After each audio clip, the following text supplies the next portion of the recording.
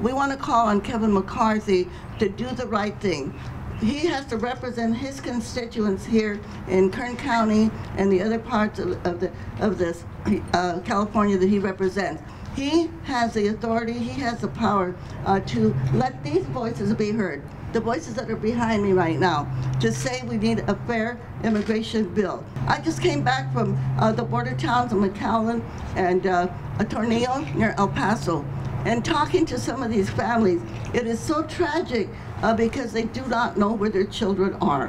One woman, her seven-year-old daughter, to this moment, does not know where her daughter is when she was separated.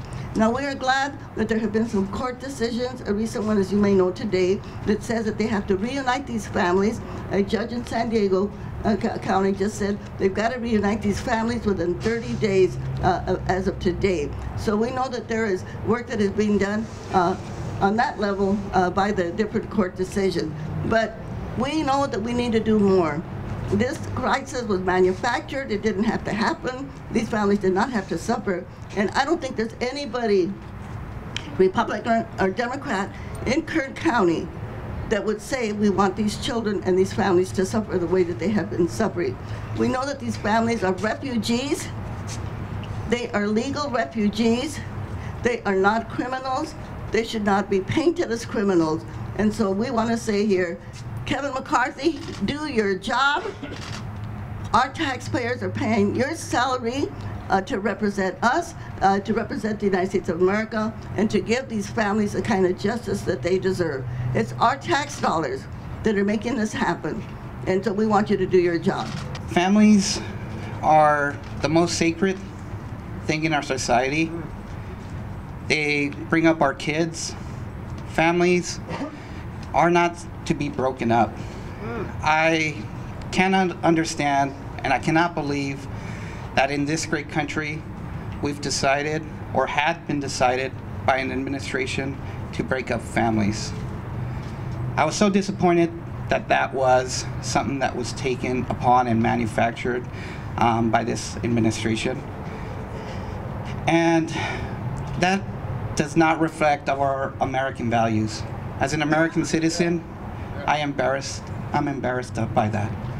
And I would call on Kevin McCarthy, and I appreciate the court system that's decided that we need to reunite these families, but I appreciate that all the communities coming out in support of these families that were divided.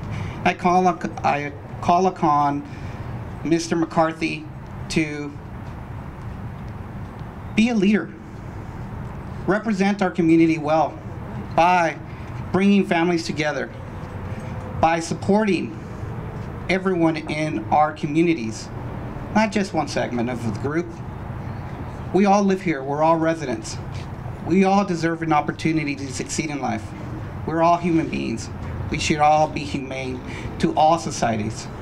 We know that the separation of families, the separation of youth, the separation of children from their parents, whether it's three days, three hours, or three weeks, we know that that separation is immoral and it's psychologically traumatizing. And we as a country need to stand behind those children and we need to make sure that we have their backs. And you know, there's so much to be lamentful for right now. There's so much to be angry about, but I do want to kind of end on a positive note. And that is the country is rallying behind these children the way we are today. The country is rallying beyond, behind immigrants and their families in ways that I haven't seen in my lifetime.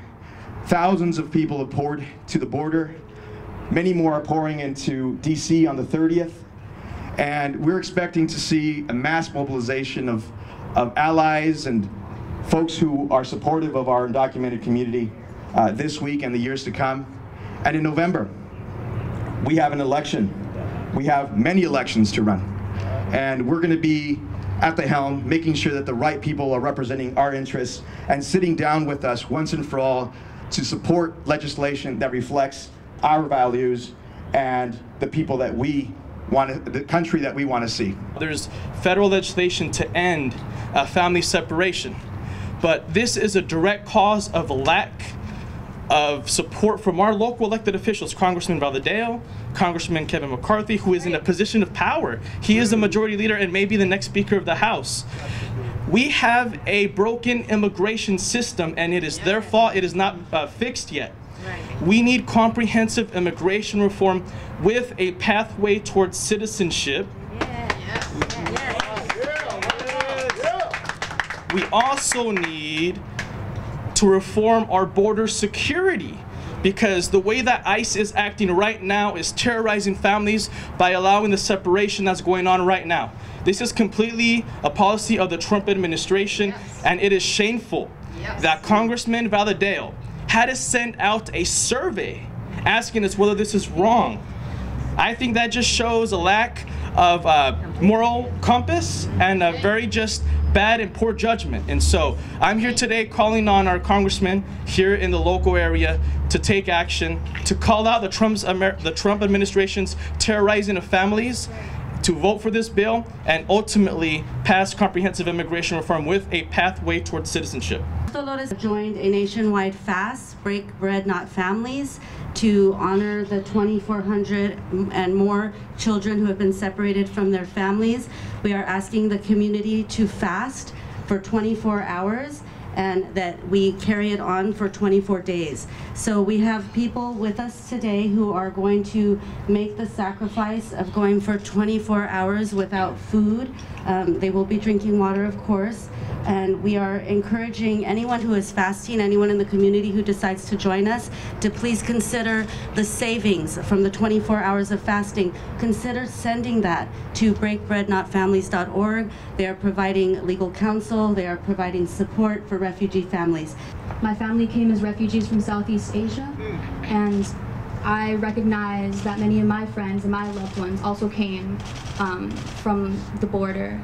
And, uh, you know, out of need more than desire for jobs, they were forced to come here, and we should be giving them asylum. So I fast today in solidarity, in solidarity with the families and with the children and with everyone protesting um, this traumatic policy um, uh, separating families um, across the nation. One of the reasons that I'm fasting today is because I'm actually in a mixed status family. Um, both of my parents are undocumented, and two of my sisters have DACA. So even though I am a U.S. citizen, I know the importance uh, that an immigration um, bill would do for us, and that we really need to fix this immigration system. And that's why I'm fasting. Is even though I'm an American citizen, I know that so many families, including mine, gets really affected by everything that's not getting done. Today I'm fasting in solidarity and also to make a statement um, for all the 2,400 children that are separated by their families.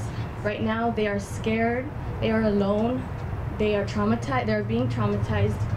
And I want Congress to understand, I want Trump to understand that what they're doing is inhumane and it's very traumatic. And please, if everyone could join us in this fasting and hopefully we could make a difference. And I come from a family that we're native to this America. We suffered the trauma that these children are suffering. And this is unfair, treating families and children as criminals, mm. dehumanizing them, treating them, putting them in cages. I'm here to sacrifice, to fast for 24 hours, to stand up for the innocent. The trauma that has been done to our nation and continues to be done every day to all these innocent people. People come here seeking asylum and safety, and we should all stand up together and make our voices heard and support our brothers and sisters. We are being attacked in every way, and this is this is enough. We ask Congress to stand up and do your job. Vote for Keeping Families Together Act. Do it now. And I'm here because my grandparents and great grandparents were all immigrants uh, fleeing Tsarist Russia. And uh, I feel a responsibility to stand up for people who are trying to get into this country. And I'm also doing it to call attention to the fact that the reason why people have to leave their countries is because of U.S. economic and political policy in Latin America, especially El Salvador, Mexico, Guatemala. Why would people leave such amazing countries and take these risks if they didn't have to? And so I just wanted to call attention to that and, and hope that everybody will stand with uh, Dolores Huerta on this issue. The, what you would have spent on food, please send it to breakbreadnotfamilies.org. Breakbreadnotfamilies.org. This, uh, this organization will be distributing uh, whatever funds they can raise uh, to the organizations that are down at the border working with these families. And uh, one thing, many of these families do not have legal counsel. You're not going to believe this, but there are three and four-year-old children that are being taken to court to represent themselves because they do not have attorneys to represent them. So uh, part of this is a big call out also for all those legal organizations out there. If you can do some pro bono work right here at the California border, down there in San Ysidro, Otay Mesa, they need attorneys. They need attorneys to go to court with these children. So this is a very big crisis. It's a desperate situation, and we have somebody right here that can fix it. His name is Kevin McCarthy. Kevin McCarthy, okay? We want him to step up, and that's why we're here.